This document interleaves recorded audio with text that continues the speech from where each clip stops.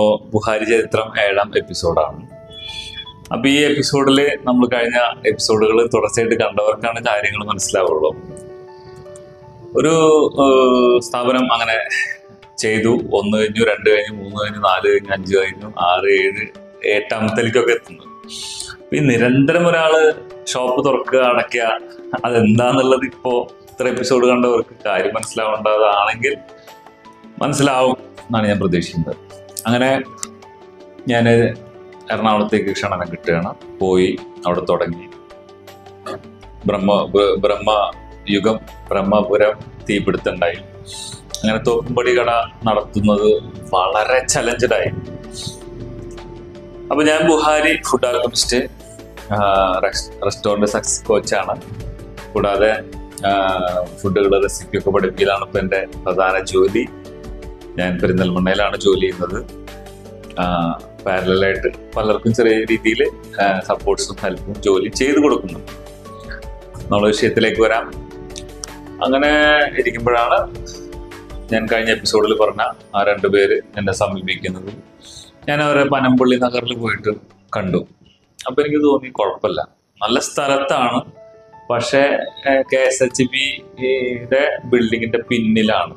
മനോരമ ജംഗ്ഷനിൽ മനോരമയുടെ തൊട്ടപ്പുറത്ത് ബിൽഡിംഗ് ആണ്. പക്ഷെ അവിടെ നടത്തിക്കൊണ്ട് വിജയിച്ചവർ അങ്ങനെ ഇല്ല. പഴയ സമയത്തൊക്കെ വർഷങ്ങൾക്ക് മുന്നേ ചെറിയ തോതിൽ ചെയ്തെങ്കിലും നല്ലൊരു തോതിൽ ചെയ്തിട്ടില്ല അവിടെ ആരും. അപ്പൊ തൃശ്ശൂർ ആ ഇഷ്യൂ കഴിഞ്ഞതിന് ശേഷം എനിക്ക് എന്റെ കിച്ചൺ മീൻസ് ഭയങ്കര വാടക പറഞ്ഞപ്പോൾ എനിക്ക് ഒഴിഞ്ഞു കൊടുക്കേണ്ടി വന്നു. അപ്പോൾ തൃശ്ശൂർ ആ ഒരു കടയിൽ നിന്നാണ് കച്ചേരി കോപ്പറേഷൻ ചെയ്തിരുന്നത്. തൽക്കാലം എനിക്കത് സ്റ്റോപ്പ് ചെയ്യേണ്ടി വന്നു. അപ്പോൾ എനിക്ക് സ്വാഭാവികമായിട്ടും തൃശ്ശൂരിലുള്ള സെൻട്രൽ പോയിന്റിൽ ഇതും കിച്ചൺ ഇല്ലാത്തതുകൊണ്ട് ക്ലോസ് ചെയ്യേണ്ടി വന്നു പിന്നെ അത്രയും വലിയൊരു ഇൻവെസ്റ്റ്മെന്റ് ചെയ്യണം. അതുപോലെ ഡ്രെയിനേജ് ഇഷ്യൂ ഇല്ലാത്ത സ്ഥലം കിട്ടിയെങ്കിൽ മാത്രമേ എനിക്ക് ഇത് റൺ ചെയ്ത് കൊണ്ടുപോകാൻ പറ്റുള്ളൂ. സ്വാഭാവികമായിട്ടും എനിക്ക് മറ്റു നിവൃത്തികളില്ല.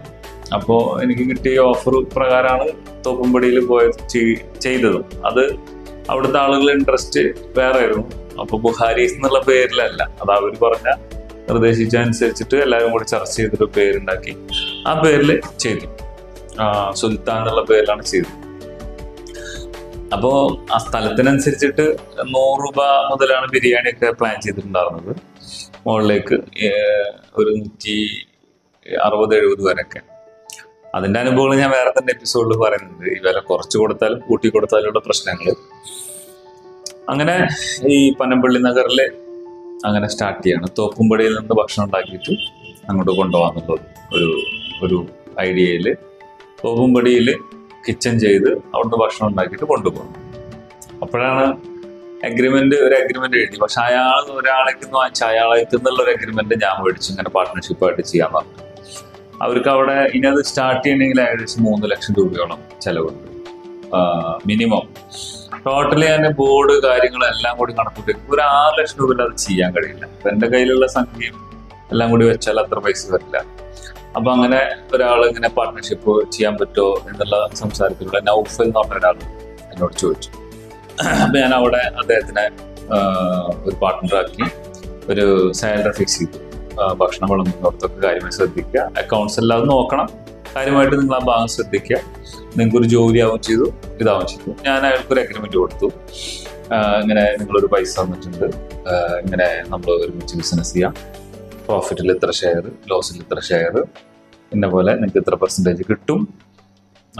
എന്നൊക്കെ പറഞ്ഞ് അവിടെ ഏൽപ്പിച്ചു പക്ഷെ സത്യത്തിൽ ഈ മനാഫ് എന്ന് പറയുന്ന ആളും റഷീദ് എന്ന് പറയുന്ന ആരും ആളും അവർ അവിടെ ഓൾറെഡി ഈ കാക്കനാട് ഭാഗത്ത് ഒരു കിച്ചണൊക്കെ ചെയ്ത് സ്വിഗ്ഗി സൊമോട്ടോ പോലെ വലിയൊരു ഹൈപ്പ് ഉണ്ടാക്കി വലിയൊരു പ്ലാറ്റ്ഫോം കെട്ടി ഉണ്ടാക്കി ചെയ്യാമെന്നുള്ള ഉദ്ദേശത്തിലൊക്കെ പല ആളുകളേക്കൊന്നും ഒരു എൽ എൽ പി കമ്പനിയൊക്കെ രജിസ്റ്റർ ചെയ്ത് പല ആളുകളേക്കൊന്നും പത്ത് ലക്ഷം ഇരുപത് ലക്ഷം ഒക്കെ വാങ്ങിച്ച് ഏകദേശം കോടികളുടെ അടുത്ത് തന്നെ അവർ കടം വാങ്ങി തിരിമറി ചെയ്തിട്ടും ഈ ഒരു ഹൈപ്പ് ഉണ്ടാക്കി ഒരു പ്ലാറ്റ്ഫോം കെട്ടി കുറെ സബ്സ്ക്രൈബ് കാണിച്ച് ഇത് മൊത്തത്തിൽ അങ്ങ് മറിച്ച് വിൽക്കാം. എന്നിട്ട് കോടിപതി ആവാന്നുള്ള ചിന്തയിലായിരുന്നു.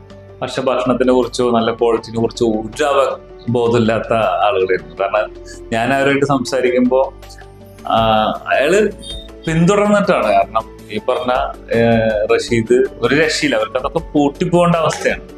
അപ്പോഴാണ് എന്നെ സമീപിക്കുന്നത്. ഒരു രക്ഷയില്ല എന്ന് പറഞ്ഞാൽ അവർക്ക് പോലും. കാരണം അവിടെ മുമ്പ് ജോലി ചെയ്ത ആളുകളൊക്കെ അവരുടെ ഗോഡൗണിൽ താമസിക്കുകയാണ്. ഇവർ കൊടുക്കാനുള്ള ശമ്പള കുടിശ്ശിക കൊടുത്തിട്ടേ പോകുള്ളൂ എന്ന്. അത്രയും ഗതികേട്. അങ്ങനെയാണ് എന്നെ ഒന്ന് സമീപിക്കുന്നത്. ഞാൻ ഓക്കെ ഞാൻ പറഞ്ഞു ബുഹാരീസ് എന്നുള്ള പേരിൽ ചെയ്യാമെങ്കിൽ നമുക്ക് ചെയ്യാൻ പറഞ്ഞു ആയിട്ട് ബുഹാരീസ് ഉടഞ്ഞു കിടക്കുകയാണല്ലോ അപ്പോൾ രണ്ട് കാര്യം എനിക്കറിയണം. ബുഹാരീസ് എന്നുള്ള പേര് വെച്ച ഇനി ആൾ വരും. അതും എനിക്കറിയണം. അതുപോലെ തന്നെ എന്റെ ഭക്ഷണത്തിൽ എനിക്ക് വിശ്വാസമുണ്ട്. അങ്ങനെ ഞാനത് പറഞ്ഞു. അവർ പറഞ്ഞു ഓക്കെ ബുഹാരീസ് കുഴപ്പമൊന്നുമില്ല നമുക്ക് ചെയ്യാൻ പറഞ്ഞു. പക്ഷെ ഇവർ രണ്ടുപേരും അവർക്ക് സാമ്പത്തിക ബുദ്ധിമുട്ടുണ്ടായിരിക്കും. പക്ഷെ എന്റെ വാപ്പയൊക്കെ പറയാറുണ്ട് കക്കേണ്ടി വന്നാലും കക്കേണ്ടി വന്നാലും തെണ്ടരുത് തെണ്ടേണ്ടി വന്നാലും കക്കരുത്. അത് ഭയങ്കര അർത്ഥമുള്ള കാര്യമാണ്. രണ്ടും ചെയ്യരുത് എത്ര ഗതി കെട്ടാലും അവരത് ചെയ്യുന്ന ആൾക്കാരായിരുന്നു. കാരണം അവരെ ഗതി കൊണ്ടായിരിക്കാം.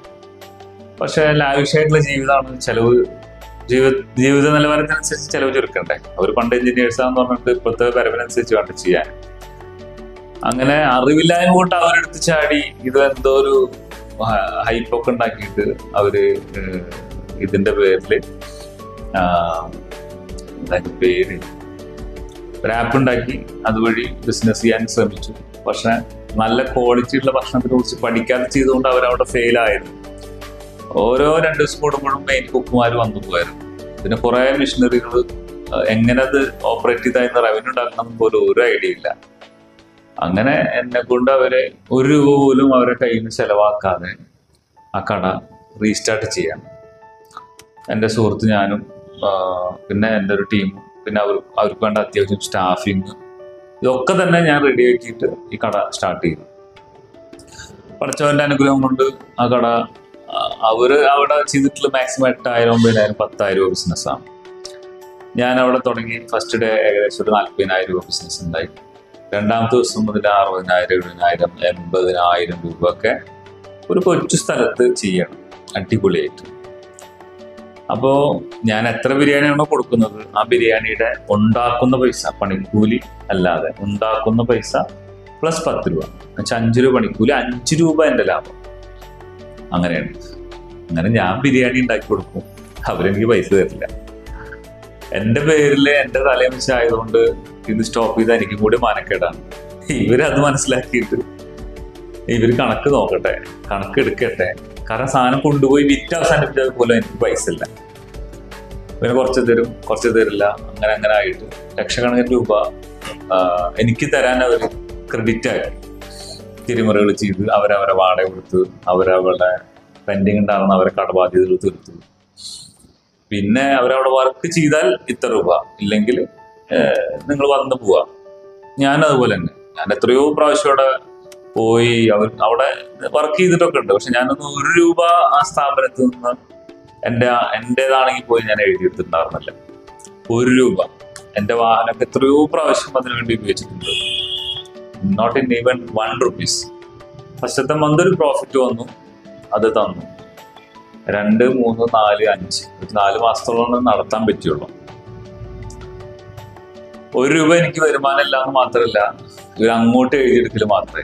ജസ്റ്റ് അവർ വീട്ടിലിരുന്നിട്ട് കടയുടെ കണക്ക് നോക്കി എന്ന് പറഞ്ഞാൽ ആയിരം എഴുതിയെടുക്കും ഇതിലെന്താ പറയുക ഒരിടത്ത് ജസ്റ്റ് അതുവരെ വന്നിട്ട് നാല് മണിയാകുമ്പോൾ ഒന്ന് കടയിലിരുന്ന് ഇങ്ങനെ നോക്കും. ഒരു അഞ്ചു മണിയാകുമ്പോൾ പോകും അപ്പോഴും എഴുതിയെടുക്കുക ആയിരം രൂപ. അതിലും വേറെ അവർക്ക് എല്ലാം കൊള്ളടിക്കാൻ പോകുമായിരുന്നു കാരണം അത്രയും അത്രയും മോശമല്ലേ അതൊക്കെ? കാരണം നമ്മൾ വിശ്വസിച്ചൊരു സ്ഥാപനം ഏൽപ്പിച്ച്. ഒരു രൂപ രണ്ടാമത് ഇൻവെസ്റ്റ് ചെയ്യാതെ എന്റെ ഫുൾ റിസ്കിൽ എന്റെ മുഖചിത്രം ഉപയോഗിച്ച് എന്റെ പേര് ഉപയോഗിച്ച് ക്വാളിറ്റി സർവീസ് ചെയ്യണം എന്ന് പറഞ്ഞിട്ട് അതൊന്നും അവരവിടെ ഇതിങ്ങനെ നല്ല ബിസിനസ് നടക്കുന്നു നല്ല ബിസിനസ് എന്ന് പറഞ്ഞാൽ എന്റെ ഇത് ഞാൻ ഒഴിവാക്കിയിട്ട് അവർക്ക് അവർ എന്റെ അതിലും വലിയൊരു ചരിത്രം എന്റെ എഗ്രിമെന്റ് അത് അവരുടെ ബോക്സിലായിരുന്നു മീൻസ് ഒപ്പിടാൻ മേടിച്ചാണ് മനാസ് പിന്നെ അഗ്രിമെന്റ് തിരിച്ചു തന്നിട്ടില്ല ലാസ്റ്റ് ലാസ്റ്റ് ആയപ്പോ ഇപ്പൊ തരാം. വീട്ടിലാണ് അവിടെയാണ് ഇവിടെയാണ്. വീണ്ടും ഞാൻ വിശ്വസിച്ചവരെ വിശ്വസിക്കലാണല്ലോ എന്റെ ജോലി. അത് തന്നില്ല അതിന്റെ പേരിൽ എനിക്ക് നല്ല ലക്ഷക്കണക്കിന് രൂപ അവരെന്നെ അതും പറഞ്ഞ് കൊള്ളയടിച്ച്. ആ ചരിത്രം വരുന്നേ ഉള്ളൂ. അങ്ങനെ ഇവർ ഭംഗിയായിട്ട് ഈ കള്ളക്കണക്ക് എഴുതിട്ടും അവരുടെ വാഹന റിപ്പയറിങ് എക്സ്പെൻസ് പിന്നെ യൂട്ടിലിറ്റി അയ്യായിരം പതിനായിരം. ഒരു ദിവസം അങ്ങനെ എഴുതിയെടുക്കുകയാണ്. ഒരു കണക്കുമില്ല. എന്റെ ഫുഡ് കൊണ്ട് എന്റെ ഞാൻ നൂറ് ബിരിയാണി കൊടുത്തയച്ചെന്ന് പറഞ്ഞാൽ അവർ ആകെ അറുപത് ബിരിയാണി വന്നിട്ടുള്ളൂ എന്ന് പറയും. പീസ് എണ്ണി കൊടുത്തു വിട്ടാലേ തന്നെയാണ് അവസ്ഥ. മുജീബ് നല്ലൊരു മാനേജറും ഉണ്ടായിരുന്നു അവിടെ. ഇവരെ ഇവർ മൂന്നാൾ സെറ്റായിട്ട് ഈ നൗഫലിനെ ചവിട്ടി പുറത്താക്കണം. അപ്പൊ ഈ നൗഫൽ എന്ന് പറഞ്ഞ വ്യക്തി അവിടെ വെജിറ്റേറിയൻ ഒക്കെ ചെയ്യാൻ വന്നിരുന്ന ആ, രണ്ട് ലേഡീസ് ഉണ്ടാവും. അതിലൊരു സ്ത്രീയുമായിട്ട് പ്രശ്നമായി എന്തൊക്കെയോ അനാവശ്യ കഥകളൊക്കെ പുറത്തു വന്നു. അവരുടെ ബന്ധുക്കൾ വന്ന് അവിടെ കാക്ക പ്രശ്നം ഉണ്ടാക്കി തുടങ്ങി. ഈ നോഫ് എന്ന് പറഞ്ഞ വ്യക്തി അവിടുന്ന് ഔട്ടായി അവനവിടെ വരാൻ പറ്റാത്ത സ്റ്റേജായി ഇവർ പറഞ്ഞോ ഇല്ല അങ്ങനെ ഒരാൾ കൊടുന്ന കട മുഴുവൻ തല്ലി പിടിക്കും അതുകൊണ്ട് അയാൾ അവിടെ കയറ്റാൻ പറ്റില്ല. കാരണം ഇവരിങ്ങനെ ആലോചിച്ചിരിക്കുകയായിരുന്നു. കാരണം അവിടുത്തെ ഒരു നോട്ടമുണ്ട്. ആ നോട്ടം നൗഫൽ എന്ന് പറഞ്ഞ എന്റെ കൂടെ ഉണ്ടായിരുന്ന ഞാൻ വർക്ക് ചെയ്യാൻ ഏൽപ്പിച്ച ആളവിടുന്ന് മാറിയാൽ ഇവർക്ക് സുഖമാണ്. പിന്നെ ഞാൻ അടുത്ത പണി അവരുദ്ദേശിച്ച എല്ലാം നടക്കും. അതുപോലെ തന്നെ ഇവൻ ആ ഒരു സ്ത്രീയുമായിട്ടുള്ള വിഷയം വന്നു. അവൻ അവിടെ നിന്ന് മാറേണ്ടി വന്നു. സ്വാഭാവികമായിട്ടും അത് നടത്തിക്കൊണ്ടുപോകാൻ ബുദ്ധിമുട്ടിലേക്കുള്ള സ്റ്റേജാണ് അപ്പോൾ അവനവിടുന്ന് മാറ്റി. അപ്പോഴാണ് ഞാൻ കാക്കനാട് പോയിട്ട് ഇവരെ കിച്ചനൊക്കെ സന്ദർശിച്ചു വരുമ്പോൾ വരത്തെ ഭാഗത്ത് പാ പാടിവട്ടം പാലാരിവട്ടത്തിന്റെ ഇപ്പുറം പാടിവട്ടം എന്ന് പറഞ്ഞ സ്ഥലത്ത് സർബത്ത് ഷമീർ എന്ന് പറയും. ഒരു കട കാണാം ലെഫ്റ്റ് ഞാൻ കണ്ടതിൽ സഹിക്കാൻ പറ്റാത്ത അൺബ്രേക്കബിൾ ഫ്രോഡ് തരം ചെയ്ത ആളാണ് അയാൾ. അയാൾ എവിടെയും പ്രസന്റ് ആവില്ല. അങ്ങനത്തെ ഒരു വ്യക്തി. അത് കഥ അടുത്ത് വരുന്നുണ്ട്. ഇങ്ങനെ അവിടെ പോയി ഒരു ഷെഡ് ഇങ്ങനെ ഒഴിഞ്ഞു കൊടുക്കും. ഞാൻ ആലോചിച്ചു നല്ല സൈറ്റുള്ള സ്ഥലം നല്ല പാർക്കിങ്ങും കാണുന്നുണ്ട്. ഈ കട എടുക്കണേ നല്ല നന്നായിരിക്കുമല്ലോ എന്ന് വിചാരിച്ച് ഞാൻ ജസ്റ്റ് ഒന്ന് ബ്രേക്ക് ഔട്ട് ഇങ്ങനെ നോക്കി. കൊള്ളാം. അപ്പൊ ഇങ്ങനെ അവിടെ ഒന്ന് രണ്ട് ആൾക്കാർ നിൽക്കണ്ടേ? ഞാൻ വെറുതെ ഒന്ന് ഇറങ്ങിയിട്ട്. എന്റെ നല്ല കാലമാണോ കഷ്ടകാലം എന്നറിയില്ല ഒരു ഇച്ചിരി കൂടി ബിസിനസ് ചെയ്യുകയാണെങ്കിൽ മറ്റേ കേച്ചേരി കട കൊറോണ ആയിട്ട് പൂട്ടിയതിന്റെ ബാധ്യതകൾ കുറച്ച് വന്ന് നിൽക്കുന്നുണ്ട്. അപ്പോ എല്ലാവരും എന്നെ വിശ്വസിച്ച് പൈസ ഇട്ടു എന്ന് പറയുന്നത്. കാരണം കൊറോണ ഞാനല്ല വരുത്തിയത്. ഗവൺമെന്റ് എന്റെ വക പ്രഖ്യാപനത്തിലാണ്. പക്ഷെ എന്റെ കഷ്ടകാലത്തിന് ഞാൻ സഹാനുഭൂതി വിചാരിച്ചിട്ട് ആ ഞാൻ എന്താ ചെയ്യും സഹായിക്കാന്നൊക്കെ പറഞ്ഞു. കാരണം എനിക്ക് എന്റെ കഴിവിൽ വിശ്വാസമുണ്ട്. എന്നല്ലെങ്കിൽ നാളെ എത്ര കോടി രൂപയാണെങ്കിലും എനിക്ക് പണിയെടുത്ത് വീട്ടാൻ പറ്റും എന്നുള്ള ആ ഒരു വിശ്വാസം ഉള്ളതുകൊണ്ട് ഞാൻ പറഞ്ഞു നിങ്ങളൊന്നും പേടിക്കണ്ട. എന്തെങ്കിലും ബുദ്ധിമുട്ടുണ്ടെങ്കിൽ ഞാൻ തന്നെ ഉണ്ടാക്കിക്കോളാം. ഞാൻ ചെയ്ത് കുറ്റമല്ല കേട്ടാ. പക്ഷെ അങ്ങനെ ഞാൻ പറഞ്ഞ വാക്കിൽ ഞാൻ വീട്ടിന്റെ കുറെ പൈസ. ഞാനിങ്ങനെ അധ്വാനിക്കുക ആ പൈസ കൊണ്ടുപോകുന്നത് കുറെ പൈസകൾ നമ്മൾ കൊടുക്കേണ്ടി വന്നു. അപ്പോ ഇത് പെട്ടെന്ന് നമുക്ക് എത്രയും പെട്ടെന്ന് ഞാൻ വിശ്വസിക്കുന്നത് കടമായിട്ട് മരിച്ചു കഴിഞ്ഞാൽ പിന്നെ ഇങ്ങനെ വാക്ക് പറഞ്ഞാൽ കുടുങ്ങി. കാരണം ഞാൻ വാക്ക് പറയണ്ടായിരുന്നാത്ത കാര്യങ്ങൾക്ക് ഞാൻ വാക്ക് കൊടുക്കേണ്ടി വന്നു. സ്വാഭാവികം. പറഞ്ഞാൽ പിന്നെ നമ്മൾ കൊടുക്കണം. അല്ലെങ്കിൽ നാളെ പരലോകത്ത് ചെന്ന സ്വർഗജീവിതം പ്രശ്നമാണ്. അങ്ങോട്ട് കടക്കാൻ പറ്റില്ല. എന്തെങ്കിലും കാരണവശാൽ നമുക്ക് സ്വർഗം കിട്ടിയാൽ പോലും അതിനുള്ള എൻട്രൻസിൽ നമ്മൾ തടയുന്ന കടക്കാരനാകാൻ പാടില്ല ആരെയും അപ്പോ എനിക്കതിങ്ങനെ ഉൾത്തേട്ടം ഉണ്ടായിരുന്നു. ഇത്രയും പെട്ടെന്ന് അത് വീട്ടണം. കട ഉണ്ടാവരുത്. കടല്ലാതെ മരിക്കണം. അങ്ങനെ ഈ സർബത്ത് ക്ഷമിക്കുന്ന അടച്ചു കണ്ടു. എന്റെ കഷ്ടകാലം ആയിരിക്കണം. ഞാൻ പറഞ്ഞു ഇങ്ങനെ. അപ്പോൾ അയാൾ പറഞ്ഞു ഇത്ര ലക്ഷം രൂപ അഡ്വാൻസ് ഇത്ര വാടക ഇത്ര ഇതാ ഇതിങ്ങനെ ഏഴ് പീസായിട്ട് കൊടുക്കണം. ഓക്കെ ഞാൻ എന്റെ ഒരു ഐഡിയ പറഞ്ഞു. എന്നെ കൊണ്ട് എന്തായാലും അത്രയും താങ്ങില്ല. ഗുഡ് ബൈ എന്ന് പറഞ്ഞിട്ട് ഞാൻ പോന്നു. ഒരു നാല് ദിവസം കഴിഞ്ഞിട്ടുണ്ട് ഇയാൾ വിളിക്കുന്നു. നമുക്കേ അതെ ഇത് ചെയ്യാം.